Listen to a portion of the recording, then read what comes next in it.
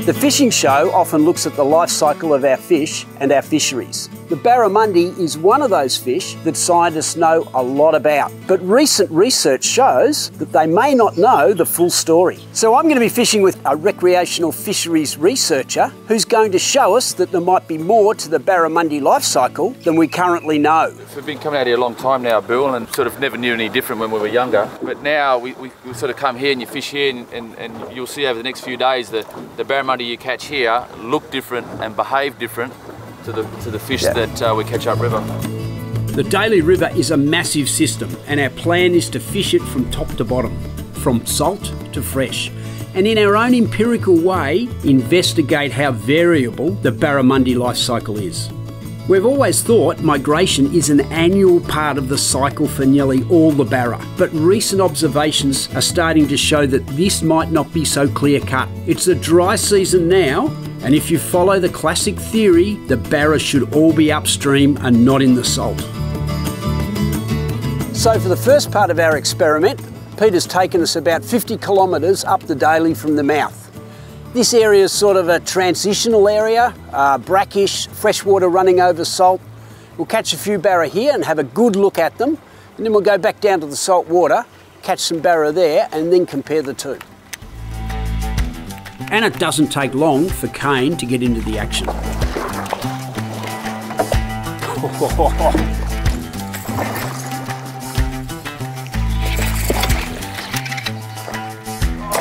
Nice. I actually had a snag. Flicked it off the snag and the barra ate it.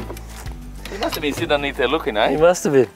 And barra are a very adaptable species. They're catadromous, which means they can happily live in fresh and salt water. And they're also uh, hermaphroditic, and that means all of them are born males. And when they get uh, to a certain length, probably about what, 700 millimetre or so, it's a bit hard to tell. About 800, they like About 800, they yeah. turn into females. And this one I would say, probably borderline, could be male or it could be female. It's probably around about 700 I'd say. 72.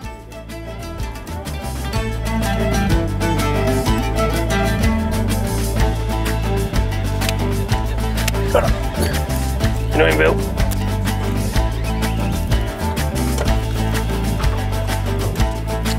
Ah, well done, Bill. Cool. We're on the board. Not a big one, but typical river fish. Tell us a little bit about it. Well, he'd be about a year old, judging on last year's wet season. He's probably spent most of his life in the river. You can tell by his tail, he's got a bit of a yellow tinge to it. Yeah, right, okay, and there's a bit of yellow on the gills here as well. So you're going to surmise he's a typical life cycle barra, probably goes up and down the river. I'd say so, mate. What you find in the river here is you get these areas where resident fish tend to hang out and you can catch them, the same fish in the same spot year in, year out. And our, our fisheries tagging data has shown that. We're gonna get this guy back in the water. He's the future of the fishery. So tell us a little bit about your thoughts about um, how these fish live on some of these snags in mid-river. I think we always had that that idea that we thought barramundi would go down, you know, 100 kilometres there. Yeah, yeah, yeah. And, and, I'm sure they do, and they do sometimes, but time and again, you know, we're starting to catch 10, 20, 50, 100 barramundi that have tags in them and they're being caught at the same location within 50 metres of where they were caught five years previously. And that's really interesting. Yeah, what do you reckon, about 55, 58, something like that? Yeah, just on a year old. They're beautiful looking fish, aren't they? No matter what colour they are. They're very good looking fish. You can tell by the, that dark coloration of him. He's probably come out of that creek over there, which is spewing out the last of the water from this year's wet season. You can really see how dark this fish is here in the in the fins, gold all over it here, yeah. Certainly does look different to those saltwater fish, doesn't it? Yeah, well this guy's obviously found a lot of food up on the floodplain. Yep. It's where he's been for the last year, I'd say. Well, I reckon you better get this fish back in the water and we'll continue our pursuit. Sounds like a plan. We'll get him back in. Already we're seeing a few differences in the appearance of the barra here, but we need to travel the river more and the plan is to keep heading up, keep catching fish as we go so we compare these to what we might catch back at the mouth. So Peter, you're taking us up to the S-Bends. It's about, what, 70 kilometres up the river? And I happen to know this is, this is a big fish area, so maybe, if anything, this is a place where we might be able to get a big river fish and have a look at one of those barramundi. Well, let's let's hope so. That's what we're looking for, mate.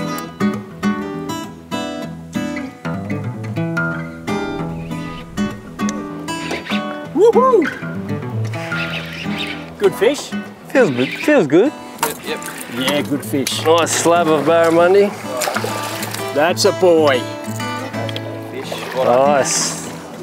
Oh, that's the one. Yeah, the sort of. Classic Doctor Evil, down and dirty. Straight away you can tell the difference between the one we got earlier down at the mouth of Lizzie and this girl.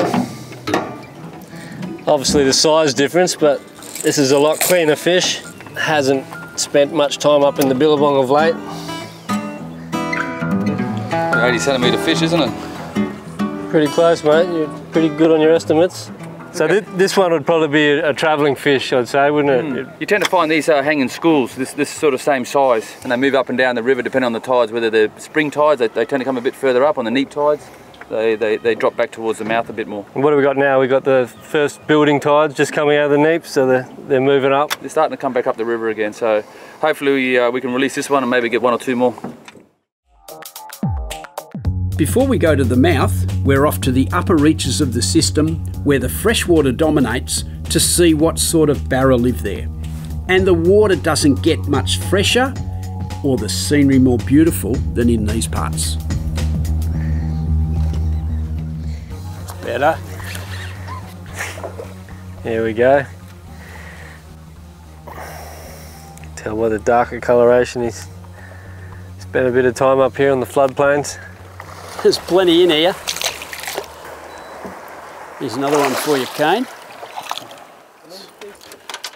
There's your freshwater barra, boys. He's definitely a darker looking fish. Yeah, that's cool. Yeah, not even a year old. But yeah, these fish will, will generally move in the in the school. Probably same school they were born. And I reckon they'd spend their life up in this freshwater reaches for most of their lives. Freshwater barra are very obviously golden in colour, and these fish look like they hold in schools up here for extended periods. Having seen a few of these fish that Kane believes spend most of their lives in the fresh, it's now time to head to the salt, and for me, the very best part searching for big saltwater barra. And remember, the classic theory states that they shouldn't be there in June. Travelling back down this river system reminds us what a diverse ecosystem it supports. And one indicator of a healthy barra fishery is a solid crocodile population. And the population in the mid reaches here even impressed the experts, Kane and Peter. They had never seen so many crocs at one time. Well, have a look at this, Bill. We can hear some boat traffic, and as we've come out, this is what we've found. The commercial barramundi fishermen have been here. They normally try and set their nets a couple hours before low tide, and as the tide comes back in, the commercial guys will come back and clean up their nets and pick them up and wait for the next tide. Now, I guess the presence of pros netting well out in the salt water in the middle of June also indicates that they don't hold much on the theory that all the barra should be upriver in winter. So, Bill, see, we've got here this uh, rocky headland here. Yep. We're just trawling up and down this uh, line here in about eight feet of water, and we're going to slowly make our way out closer and closer to that um, the cliff face there. See if we can't pick ourselves up a nice big barramundi. And obviously, saltwater barra, this is the sort of areas that they inhabit. Probably some permanent populations of saltwater barra live on these rocky headlands. Yeah, I've been fishing this spot here now for nearly, well, I suppose nearly 20 years. And we found that the, the those size of barramundi, those 90 centimetre models, 80 centimetre models, tend to hang along these uh, the same area here. Often, if we trawl too much, we can come in and get two, three, four fish straight away. Spook them. Yes, Oh, there we go. Got one. That's good fish. There's, there we go. good fish. Right on cue. there we go. Yeah, they tend to sort of stay in a similar sort of size. There we go, mate. Yep, yep, Bill. Might even have a tag in it. There's something in, the, in its Really? back there. Yeah, it might have a tag in it. This way. Yeah, it's definitely got a tag. Yep. Right, Bill. Well done, mate. Couldn't let him, Bill. maybe a bit of a tag in him too. Well done, mate. He's a sizable fish too. Yeah, beautiful fish. Just watch your hands there. XOS saltwater barra. So as we we're just saying, we're just talking about the sort of size of barramundi that are, that are along this coast here. And they sort of tend to hang in the same or a similar type size. I think that the idea is that the big ones aren't bullying the little ones. Yeah, and, yeah. And they don't want to certainly be in that uh, environment. But um, yeah, look, beautiful looking saltwater fish Big measured up. chrome unit. there you go, safety, Always brings a smile to your face, doesn't it? doesn't it?